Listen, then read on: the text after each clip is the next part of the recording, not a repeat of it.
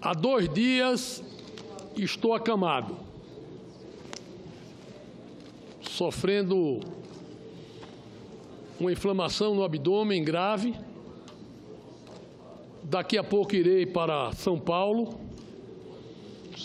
me internar no Hospital Sírio-Libanês.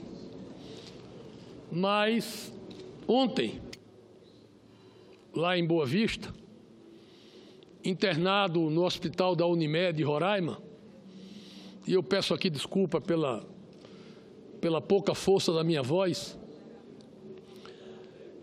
Ontem eu pedi a Deus que cuidasse da minha saúde. Mas pedi a Deus também que me desse saúde para estar aqui hoje. Peguei um voo, estou aqui bloqueado com antibiótico, estou inflamado, estou correndo o risco de estar aqui.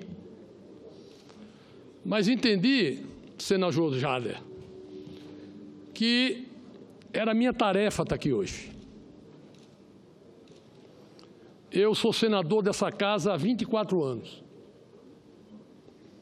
Cheguei aqui jovem. Cheguei mais jovem. Menos de 40 anos de idade. E ao longo desses anos todos aprendi aqui que existem adversários políticos, existem brigas partidárias, existem questões eleitorais, mas existem momentos em que os homens e mulheres que formam esse país têm que ter a coragem, têm que ter o compromisso e têm que ter talvez algo que transcendenda até a nós mesmos.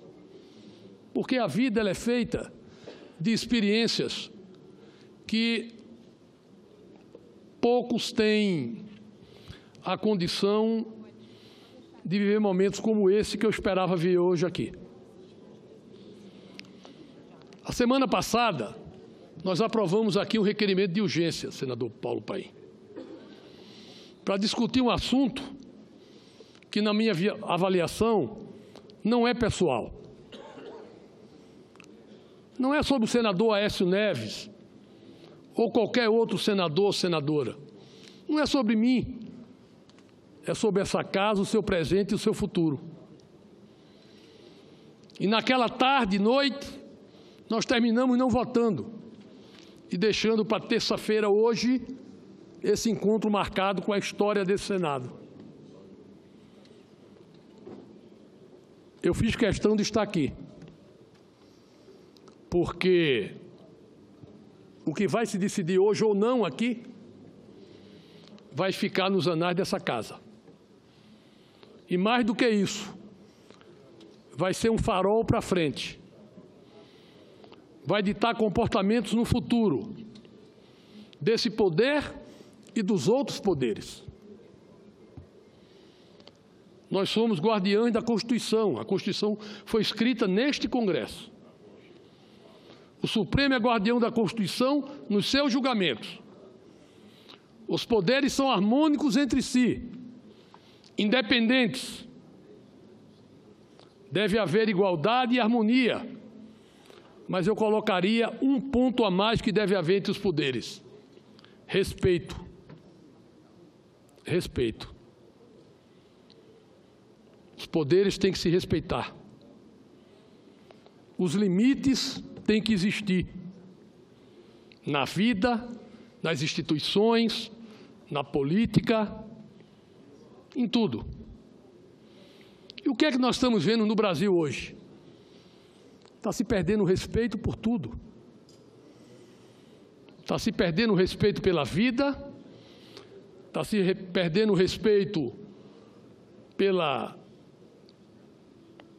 imagem, pela história, está se perdendo o respeito pela condição humana. Tudo virou um circo. tudo virou algo a ser explorado. Tudo virou algo que precisa passar no Jornal Nacional.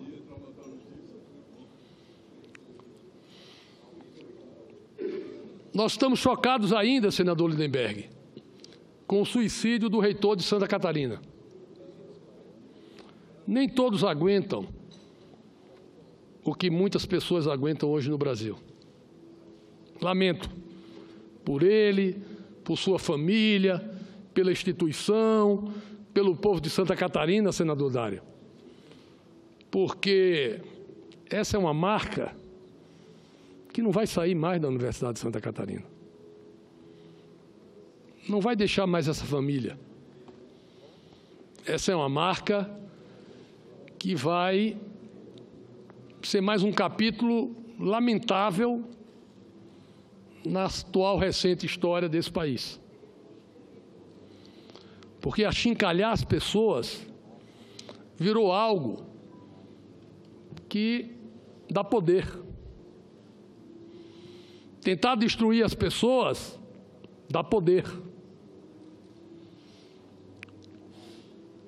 E esse poder, como está sendo mal usado? Eu passei dois dias em cama, com febre, medicado, de repouso, pensando nisso tudo, senador Collor. E não vendo a hora de estar aqui hoje do jeito que eu estou, fraco, frio, tremendo, mas cumprindo o meu papel. Eu vim votar hoje. Eu vim votar hoje aqui, no requerimento que nós aprovamos. Espero, até o último minuto do meu bloqueio de antibiótico, que eu possa ficar aqui presente para ver essa página no Senado da República. Porque me desculpem, se nós não fizermos isso hoje, se nós formos esperar que outro poder defina o que nós podemos fazer escrito na Constituição, é melhor tirar esse busto do Rui Barbosa daqui. Não vale a pena não vale a pena. Essa é uma questão que diz respeito ao Brasil. Ao Brasil. Eu lamento ver, e quero aqui dizer com muita tranquilidade, do respeito que eu tenho pelos dois outros poderes da República: o Executivo, do qual sou líder do governo, e o Supremo que tive a honra de aprovar aqui, nos últimos 24 anos, tantos ministros e ministras que vieram aqui se submeter a esta casa, ser sabatinados, colocarem o que pensavam. E se submeterem ao voto secreto dos senadores e das senadoras. Pois bem, eu respeito muito o Supremo Tribunal Federal. Tenho ações lá, mas não tenho medo. Não tenho medo. Se tivesse medo, teria que renunciar ao meu mandato, senador Cristóvão. E vou exercê-lo na minha plenitude até o último dia do meu mandato, quando o povo de Roraima, talvez para o ano, me renovar para o meu quarto mandato ou me tirar o mandato se entender que eu não sou um bom senador. Mas enquanto eu estiver aqui, eu vou exercer esse mandato na minha plenitude. E não vou ser subjugado. Não vou aceitar ilações, não vou aceitar pré-julgamentos, não vou aceitar ser julgado pela turba midiática. A turba nunca foi uma boa conselheira. Se nós vermos na história da humanidade, os jogadores que seguiram pela turba erraram feio. O maior exemplo disso é o Pilatos. A turba insuflada por Caifás, por asseclas de Barrabás, por pessoas do povo, escolheram Barrabás a Jesus. E o juiz não teve a coragem de dar a decisão correta. Agora, a nossa turba é eletrônica. A turba agora faz plim-plim. A turba agora julga, condena e executa sem piedade. E pior, sem responsabilidade. Sem responsabilidade. Por que, que eu estou hoje aqui para julgar isso? Porque essa história tem que parar. Há um ano e três meses atrás, as vítimas eram outras. Era eu e o senador Renan Calheiros, que está aqui, e o presidente José Sarney. E nós tínhamos também um pedido de prisão. Nós tínhamos uma acusação de querer, de querer barrar a Lava Jato. E tudo, qualquer ação, era algo que se colocava como querer barrar a Lava Jato. E nós somos vítimas. E eu sofri. E minha família sofreu. E se o povo de Roraima não me conhecesse, eu estaria numa situação muito difícil. Mas eu hoje, eu hoje, estou em primeiro lugar nas pesquisas com o triplo do segundo colocado. Porque o povo de Roraima me conhece. Pois bem. Quando eu e o senador Renan fomos acusados, não vi vozes aqui se levantando em nossa defesa. Não vi. Mas hoje eu estou aqui em defesa da instituição. Porque eu não sou covarde. Porque a gente tem que ter a coragem de enfrentar o que é arbitrário, o que é mentiroso, o que é canalha. E estão aí os jornais, as televisões, as revistas mostrando que a organização criminosa do Janot está caindo por terra. Era para pegar o PMDB, era para pegar o PSDB, era um atentado contra a política, contra a democracia, contra a economia, contra o povo desse país. Um atentado contra o povo desse país. Pobre povo, que antes da novela é envenenado todos os dias. Mas mesmo assim, cabe a nós lutar por isso. Mesmo contra a correnteza não tenho medo. Estou aqui arriscando a vida, imagine se eu tenho medo. Agora, espero que essa casa se dê a respeito. Espero que essa casa se dê a respeito.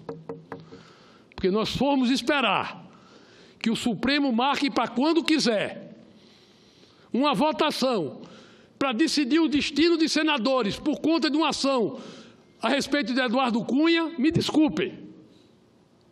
É demais. Essa questão do Eduardo Cunha é de outra casa, é outra conjuntura, é outra questão que não cabe aqui hoje. Não adianta buscar jeitinho, não, vamos dar um jeitinho. Vamos esperar uma semana. Vamos anestesiar. É isso que nós queremos aqui, senadoras e senadores da República. É isso que essa casa espera? É isso que o patrono dessa casa espera? É covardia? É leniência. É a saída mais fácil? Não. Não é a saída mais fácil. É a saída correta. Qualquer que seja ela. Um homem de coragem só morre uma vez. O covarde morre todos os dias.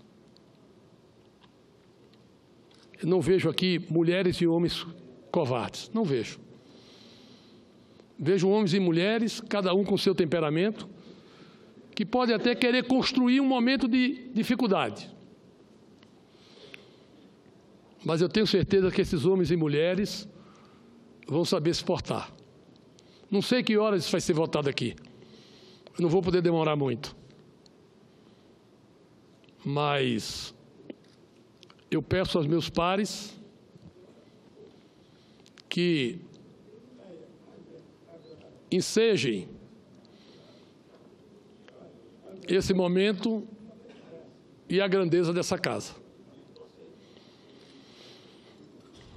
Senador Renan, nós fomos vítimas. Um ano e três meses de achincalhe, de vazamentos seletivos. Cansaram de dizer, o Jucá disse que queria parar a sangria. Queria mesmo. Era a sangria da Dilma. E agora eu quero parar a sangria dessa falta de respeito com o país. Não quero parar a Lava Jato, não. Eu quero, eu quero que a Lava Jato ande célere. Eu quero que a Lava Jato investigue quem tiver que investigar.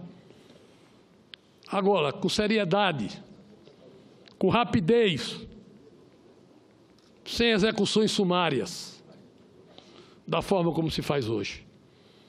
Um ano e três meses depois, o Rodrigo Janot teve que engolir a sangria, teve que engolir as opiniões, as agressões, os absurdos, e teve que botar aquela assinatura canalha num pedido de arquivamento da ação contra nós. E quantas assinaturas ele botou em tantas coisas erradas aí? Que essa casa tem a obrigação de passar a limpo. Porque, volto a dizer, o que se fez e o que está se fazendo até pouco tempo era um atentado a esse país. Era um golpe. Tentando acabar a classe política, os partidos, o governo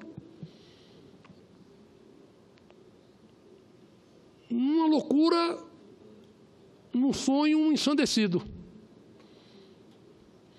Ter o terceiro mandato de procurador e ser presidente da República. Esse era o projeto.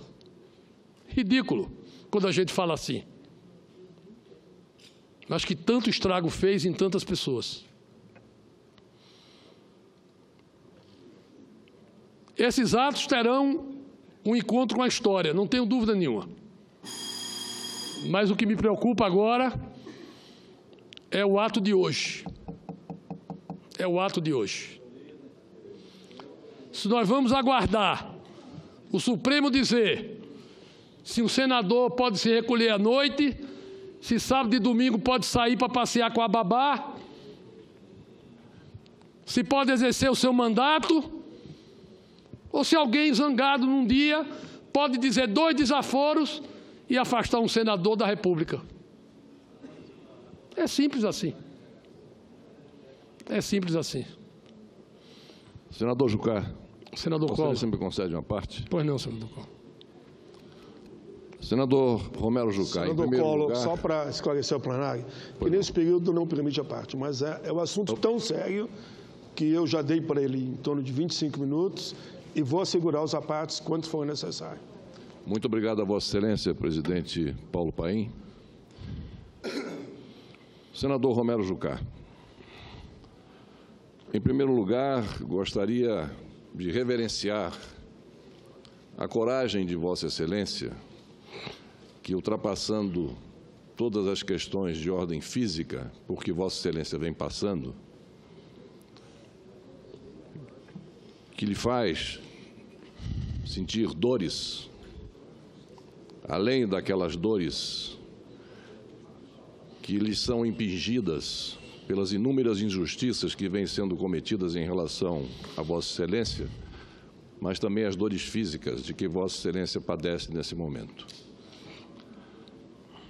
E Vossa Excelência vem para uma sessão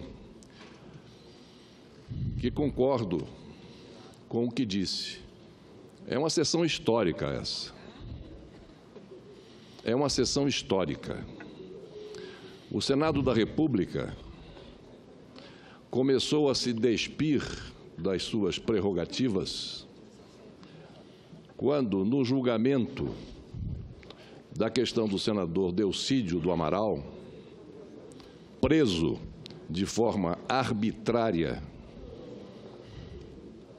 e absolutamente em conflito com o que está dito na nossa Constituição, este Senado da República votou pela continuidade da prisão do senador Delcídio Amaral. Se acovardou, se amofinou, do mesmo jeito agora. Passando por cima de texto constitucional, fico pasmo com os meandros por onde percorrem certos juristas para justificar a legalidade da medida imposta a um senador desta casa. A explicação é uma só e não cabe interpretação. Ela está clara, límpida, cristalina no texto da nossa Carta Maior. Foi votado aqui na última quarta ou quinta-feira um pedido de urgência para esta matéria. Vem aquele tal do jeitinho, falando em crise institucional. Eu, desde 2012, venho falando nessa casa do esfacelamento institucional. Que já naquela época eu previa que chegaríamos a um ponto como esse, pelo rumo que as coisas estavam tomando, pelo empoderamento de outros poderes em detrimento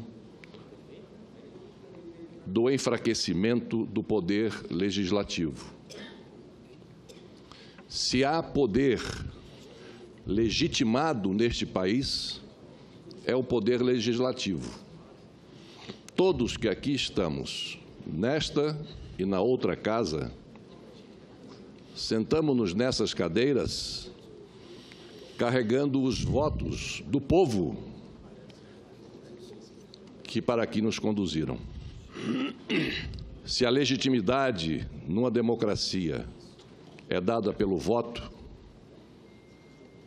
nenhum poder mais legítimo do que o legislativo. E é esse legislativo que vem sendo achincalhado, que vem sendo criminalizado. E essa ideia vem sendo vendida com sucesso à opinião pública quando a opinião pública precisa entender que hoje, ou em qualquer momento, num regime democrático, nós só o temos em pleno funcionamento com um Congresso Nacional eleito regularmente funcionando. É preciso que esse Congresso seja entendido como uma casa de pessoas que tem defeitos, mas que tem qualidades, que tem espírito público, que tem o desejo de ver um Brasil melhor, que tem o desejo de ver as nossas instituições fortalecidas, não umas, uns poderes, melhor dizendo, em detrimento de outros, mas todos igualmente, harmonicamente entre si. Desde 2012 que venho desta tribuna em que Vossa Excelência se encontra, acusando aqueles que assumiram a Procuradoria-Geral da República, e dou o nome de dois, o senhor Gurgel, chantagista, e o senhor Janó Calhorda, que venho denunciando as falcatruas desses dois sujeitinhos à toa. Entrei com representações contra um e contra outros, e contra o outro, aqui no Senado da República. Infelizmente, o encaminhamento não foi aquele que eu imaginava, que era de exigir deles a resposta às acusações que eu fazia. E eles se calaram. O senhor Janó, o Calhorda, durante a sabatina que ele se submeteu aqui no Senado da República, eu tive a possibilidade de fazer algumas indagações e mostrar a ele provas do que eu estava dizendo, e ele não respondeu objetivamente a nenhuma pergunta. E eu alertei ao plenário da Comissão de Constituição e Justiça do Senado da República, naquela oportunidade, que nós não poderíamos trazer de volta este calhorda à chefia do Ministério Público Federal, à Procuradoria-Geral da República. Infelizmente, ele teve a sua aprovação na CCJ teve a sua aprovação aqui também no Senado da República. Para fazer o que ele fez. E aí estão, nos folhetins e nos meios, agora surgindo conversas absolutamente escusas de um procurador-geral da República, dizendo claramente o objetivo que tinha que coincide com aquilo que Vossa Excelência há pouco enunciou da tribuna. Vamos destruir o partido A. Vamos acabar com fulano de tal. Nós todos sabemos também como essas delações, chamadas delações premiadas, e como foram premiadas, como essas delações foram alcançadas com um novo tipo de tortura, uma tortura diferente daquela da Idade Média, mas tão poderosa quanto em relação aos efeitos que ela causa na pessoa que sofre o tipo da tortura da intimidação, da pressão em relação aos seus familiares, das oportunidades que dá àqueles que delatam, de acordo com um script previamente preparado pelo Procurador-Geral da República as benesses a que, eles, teriam direito se cumprissem esse script. Hoje, senador Romero Jucá, concordo plenamente com Vossa Excelência. Este Senado não pode deixar de dar a sua resposta. Ouvi um ex-presidente do Supremo Tribunal Federal dizer que se o Senado votasse essa matéria hoje, seria uma fratura exposta no plano institucional. Veja só, o Senado querendo tomar, votar uma matéria para repor as coisas no seu devido lugar, para se fazer respeitar a Constituição, e vem um ex-presidente do Supremo Tribunal Federal dizer que o Senado não poderá fazer isso sob pena de causar uma fratura exposta em verbes no plano institucional brasileiro. Esfacelamento institucional nós já estamos vivendo desde essas priscas eras de 2012 para cá. E se o Senado, mais uma vez, num momento como esse, se agachar,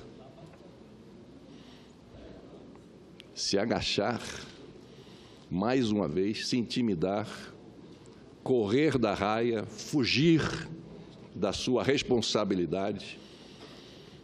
Eu acredito, senador Romero Jucá, que nós aí sim mereceremos o crivo da opinião pública por não cumprirmos com os nossos deveres e com as nossas atribuições. Nós estamos abrindo mão dessas atribuições se não cumprirmos com o nosso dever de hoje votarmos a matéria que já está na mesa com pedido de urgência. Por isso, minha solidariedade a Vossa Excelência e a minha total e absoluta concordância com os termos do seu pronunciamento. Obrigado a Vossa Excelência, obrigado ao senador Paulo Paim, presidente. Muito obrigado, senador Collor. Senador Romeu Jucá, antes de Vossa Excelência falar... Presidente, eu vou, eu vou concluir. Eu, eu até, é a seu favor, Eu vou concluir. a sua assessoria procurou essa presidência no momento, quando o senador Eunício está vindo para cá, que Vossa Excelência tem que pegar um voo Tem. para ir para o hospital em São Paulo. Tem. Então, eu peço a todos que não façam a parte e permitam que ele conclua. Eu, eu vou concluir, mas eu queria colocar algumas questões. Primeiro, dizer que a fratura exposta a que o senador Collor se refere já é a prisão do senador Aécio Neves. Nós temos que discutir quantas fraturas expostas serão necessárias para o Senado se posicionar. E aqui quero dizer que não é uma ação contra o Supremo, não estou aqui atacando o Supremo, não estou aqui atacando a Procuradoria-Geral da República, a quem reputo no comando da doutora Raquel Dodge trilhará caminhos corretos. Não tenho dúvida disso. A questão aqui não é os outros poderes serem altivos ou não. A questão aqui é o Senado ser altivo ou não. Essa é a questão. Essa é a questão. Não estou aqui atacando ninguém. Ao contrário, estou fazendo um chamamento para casa. E vim aqui hoje doente votar. Não sei se vai ser votado hoje. Se for votado hoje ou quando for, eu quero registrar aqui meu voto. Não sei se o voto é secreto, se será aberto. Eu quero aqui registrar o meu voto não. E ao sair daqui, eu vou na mesa, vou escrever e vou deixar assinado. Que é para ninguém ter dúvida que eu quero que esse voto seja computado. Que eu não sei qual é a minha condição de saúde amanhã ou depois.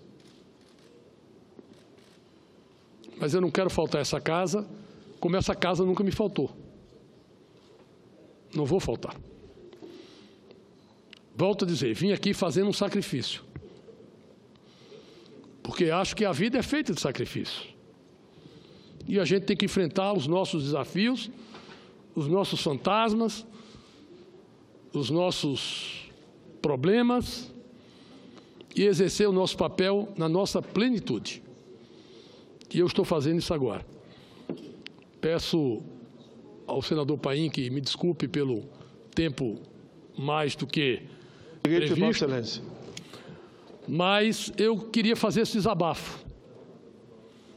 Talvez contaminado pela infecção. Mas isso é bom, porque fica alguém aqui que vai ter que sair, mas que deixa a sua posição clara, transparente, para que o Senado possa refletir sobre tudo isso. Meu voto é muito simples. Meu voto é pelo futuro do Senado, meu voto é pela responsabilidade do Senado. Meu voto é pela grandeza do Senado. Meu voto é não, senhor presidente. Obrigado.